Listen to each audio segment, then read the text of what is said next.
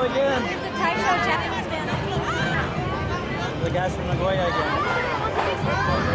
again.